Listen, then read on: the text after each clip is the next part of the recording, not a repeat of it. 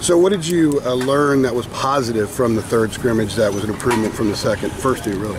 Well, the biggest thing you just said it was there's improvement. You know, from the first to the second scrimmage, I didn't see any improvement.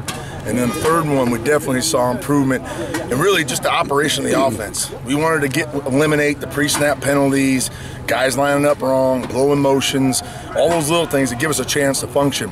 We we had a much less lost yardage plays and a lot more explosive plays, so that was positive to see. Uh, with with Bentley missing the last week plus or so of practice, Charlie Heck's getting a lot of work with the ones. He's played both right and left. Right. Is is he? Is there a side that he's maybe more comfortable or, or Well, I'm trying to get him and William Sweet to be comfortable at both, you know, because right now they're they're both out there, and then when we get Bentley back, then one of them's got to be on the other side, and, and I hope to play all all three of them when I include Bentley. So we've been working hard all spring with them playing both sides to get comfortable with both sides. What are the challenges there working in new offensive tackles and, and what's hard for them?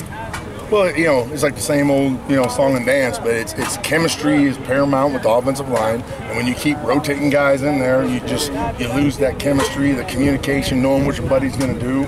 You know, obviously, when you a guy like Bentley, he's a leader of the offense, that, that brings more to it. But just trying to get these guys to have confidence to believe in their calls and make their calls. And sometimes when you're a young guy, you're not really sure, but you got that older guy next to you that, are going to assure you that you're right, you feel better. So that's the thing we're trying to do. Just get as many reps as possible so they understand what to do. In terms of a guy like Heck, though, hasn't played John, Charlie Heck. I mean, Yep.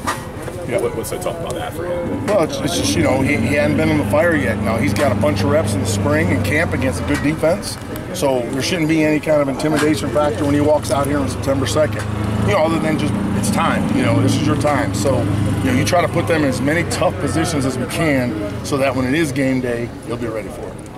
Coach, you lost Khaliel Rodgers for a while. Now he's back. Mm-hmm. Is he on track as where he needs to be, or has he still got work to do? Well, he's got to catch up a little bit. You know, you can't miss that many reps and, and be where you need to be. Uh, luckily, he's a veteran. Uh, he, he's done a tremendous job mentally with knowing what to do, but now just getting in that game speed, game shape, and, and getting used to playing with new guys, that's the thing we're trying to catch up on.